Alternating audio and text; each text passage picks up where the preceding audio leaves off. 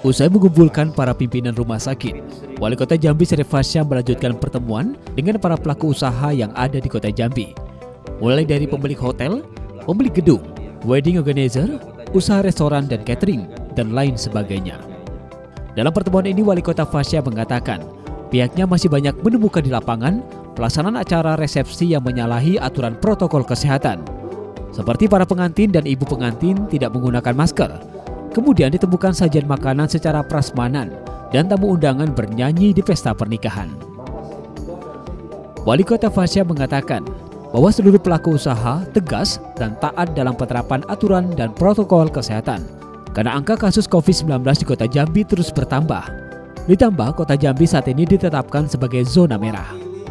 Fasya dengan tegas mengatakan jika masih ditemukan pelanggaran dalam acara resepsi pernikahan, maka tim Satgas Kota Jambi akan turun ke lokasi dan dirinya tidak segan-segan akan mencabut izin relaksasi yang telah diberikan.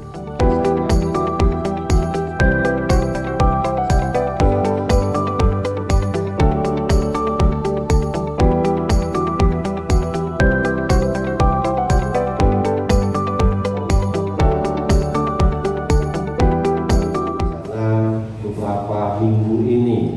Ini undangan-undangan pernikahan.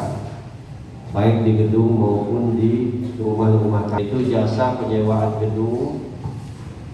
Jasa wedding organizer tukang rias pengantin juga apa MUA MUA ya.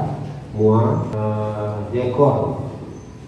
Pengantin jasa. Perlu kami sampaikan juga kepada Bapak Ibu semua. Suci Mahayanti, Jambi TV